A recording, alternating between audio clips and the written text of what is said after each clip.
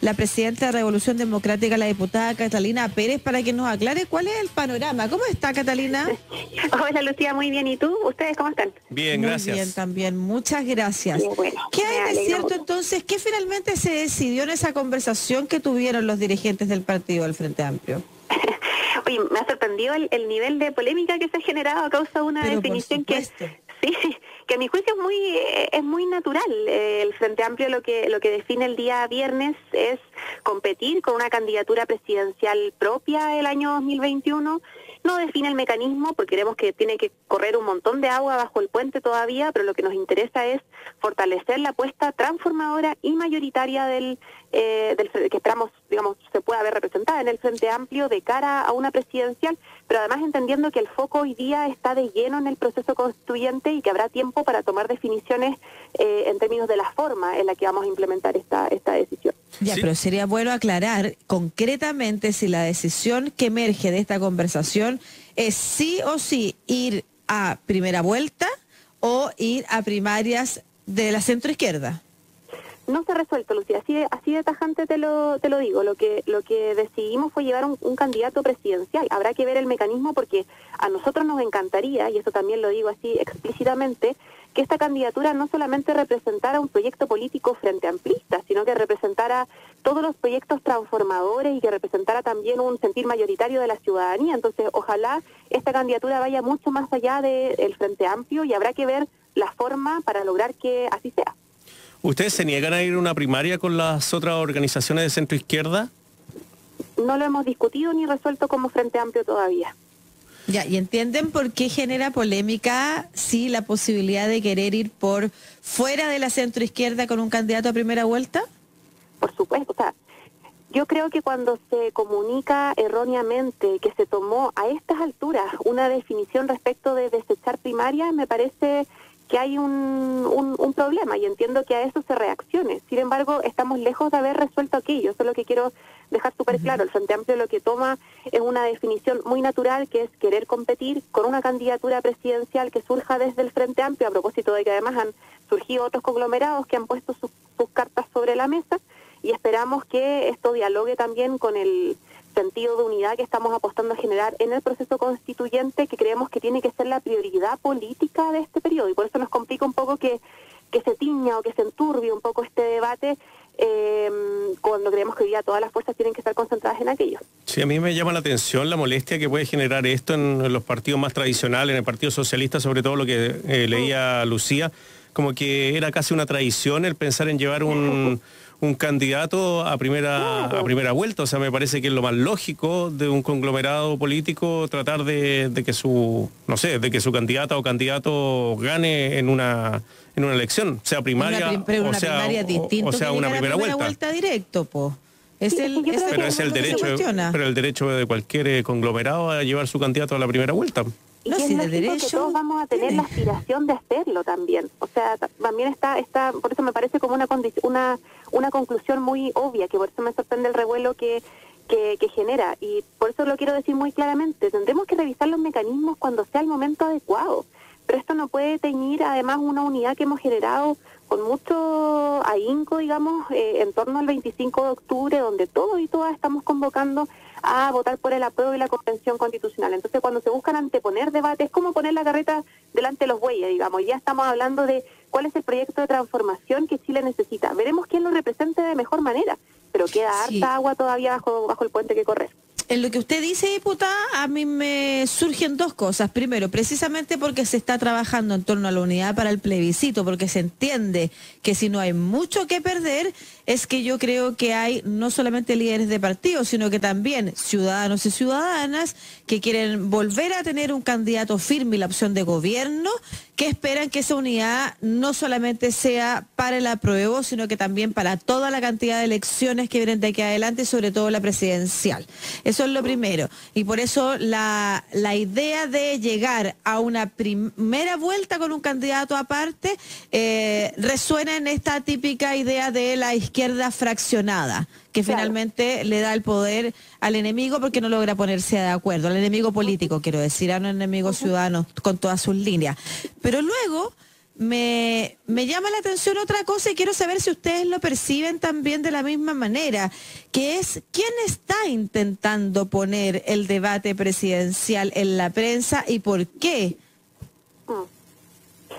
A ver, yo creo que primero em, estamos en un momento político de alto de altas definiciones. O sea, la apertura de un proceso constituyente eh, invita a los partidos políticos y no solamente a los partidos, sino que en general a, la sociedad civil, digamos, organizada, a reflexionar no dentro de la caja, como creo que se pensó Chile en los últimos 30 años, no, no, no en la medida de lo posible, sino que reflexionando respecto de cuál es el proyecto país, cuál es el proyecto de futuro que le estamos ofreciendo a la ciudadanía. Y eso evidentemente va asociado a liderazgos y eso evidentemente va asociado también a campañas y a elecciones. Y por tanto se tensiona el, escenario. Y a mí por lo mismo me parece importante, y lo he dicho en varias ocasiones, que vayamos fijando objetivos frente a los cuales avanzar. Nosotros en el Frente Amplio le decimos unidad de propósito. Hoy ya tenemos un propósito que es no solamente que la prueba y la convención constitucional ganen, sino que ganen por una amplia mayoría. Y nos vamos a coordinar con todos quienes sea necesario del mundo social, del mundo político, del Partido Comunista o la democracia cristiana, para no perdernos en el objetivo, que es el apruebo y la convención constitucional. Mañana va a venir otro objetivo, que va a ser asegurar los dos tercios de la convención constitucional y garantizar que, que ahí existe un proyecto transformador que se pueda ver reflejado en la nueva constitución.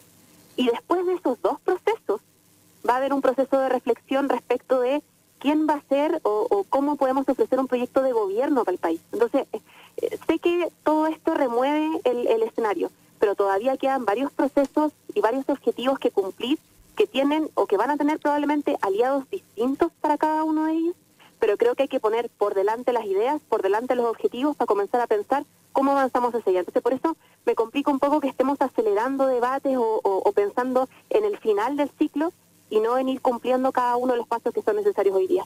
¿Cómo ha sido la negociación eh, con estos eh, con estos entes, con estos partidos que están por eh, lo mismo que ustedes buscan en el, en el plebiscito?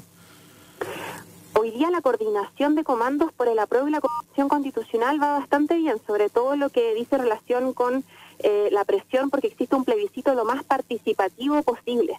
Creo que hoy día Chile Vamos está, como se dice, como como gato de espalda defendiendo la opción de eh, el rechazo, defendiendo la opción de la convención mixta con una estrategia que apela al miedo de la población a la hora de ir a votar eh, y que creo que le hace mucho daño eh, a la democracia y que habla muy mal de su compromiso democrático. Cuando yo escucho a la presidenta de la UDI, por ejemplo, decir que cada, que cada día hay razones para rechazar, yo no sé en qué país están viviendo. Y frente a ese gobierno que se alinea detrás de la idea del rechazo y que pese a ahí salen algunas voces dísculas a tratar de colgarse de que la prueba siga eh, avanzando, creo que la unidad de propósito tiene que ser lo que prima a la hora de, desde nuestras diferencias, poder muy claramente invitar a la ciudadanía a que sea un plebiscito participativo, masivo, porque ir a votar hoy día es una actividad esencial, como muchas otras.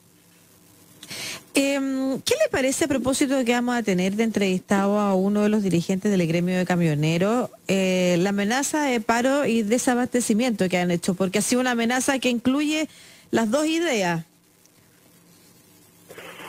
Eh, primero a mí me sorprende lo, rápido que concurre el gobierno a satisfacer las demandas de determinados grupos frente a otros.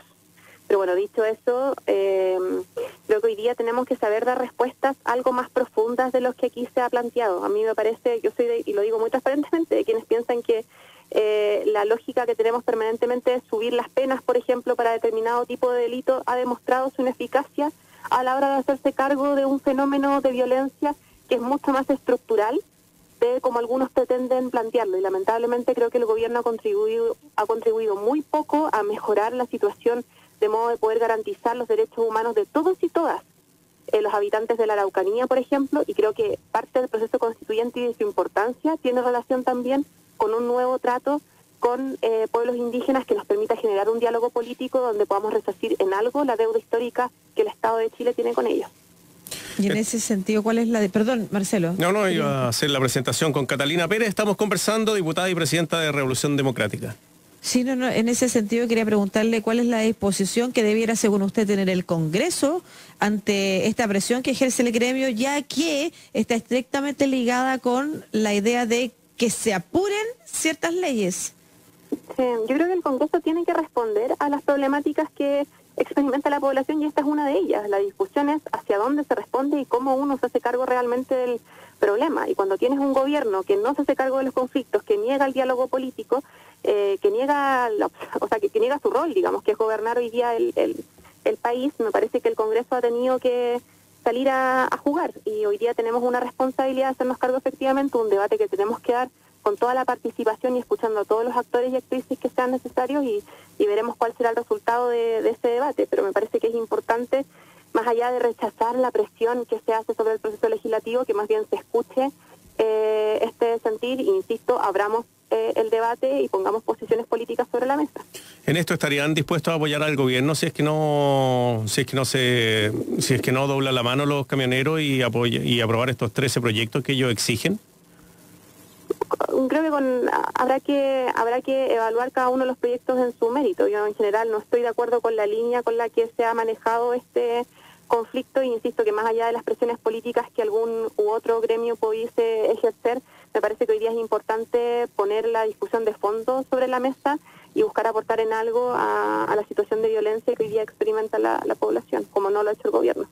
Finalmente, para cerrar, Catalina, diputada Catalina Pérez, estamos a 65 días más o menos, por ahí del plebiscito del 25 eh, de octubre y el tema sanitario está puesto sobre la mesa y todavía no se resuelven las fórmulas que va a tener de participación este plebiscito con en un contexto de pandemia y con contagiados y la posibilidad de contagio también. Eh, pese a que las sociedades científicas y médicas han dicho frases como es más peligroso ir al supermercado que ir a votar, ¿cuáles son las eh, condiciones que usted espera el CERVEL por una parte y el gobierno por el otro le aseguren a la población? Hoy día justamente tenemos reunión con, con CERVEL, los partidos políticos, para conocer cuáles van a ser las medidas que que se van a implementar, dado que ya aprobamos la, entrega digamos, de atribuciones amplias al servicio electoral para que mm, evalúe las condiciones del, plebiscito. Hay algunas condiciones básicas que, que se han determinado, como la disposición de mayor número de urnas, por ejemplo, o la disposición del cuidado de vocales de mesa em, de, de sectores, digamos, más de riesgo de la población, el resguardo de condiciones sanitarias en los locales de votación, Creo que hoy día están todos los elementos sobre la mesa, tanto expertos, la comunidad científica lo ha señalado, no podemos suspender la, la democracia pese a, pese que algunos eh, le tengan miedo al proceso constituyente, le tengan miedo a que la gente, a que Chile decida. Eh, el proceso constituyente va y lo que tenemos que asegurar hoy día es que sea participativo, porque insisto, ir a votar también es una actividad esencial y espero que este proceso masivo e histórico cuente con todas las condiciones para su.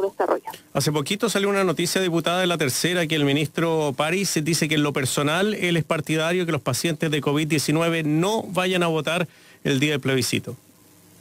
Me parece que sale una nota de la tercera y minutos después sale una nota en cooperativa diciendo exactamente lo contrario. Creo que el ministro París es un, bien, un buen reflejo de no tengo por qué estar de acuerdo conmigo misma. Dice por un lado que eh, los contagiados por COVID no pueden ir a votar, lo que es un eh, lo que es desconocer derechos fundamentales básicos de cualquier ciudadano y por otro lado luego señala que ir a votar es un derecho humano y que por tanto debiésemos garantizarlo. Yo creo que el ministro tiene que ponerse de acuerdo en qué es lo que va a, defender, pero sin duda hoy día están las atribuciones en el, en el CERVEL a pesar del gobierno para que el proceso plebiscitario se, se desarrolle con total eh, normalidad y esperamos ahí desde los partidos y desde las organizaciones poder contribuir eh, a que así sea. De hecho, estamos evaluando una propuesta de crear conjuntamente eh, facilitadores sanitarios también para el proceso, de modo de poder brindar todos los consejos necesarios para el desarrollo regular de este mm, derecho a sufragio en un proceso tan histórico e importante para Chile.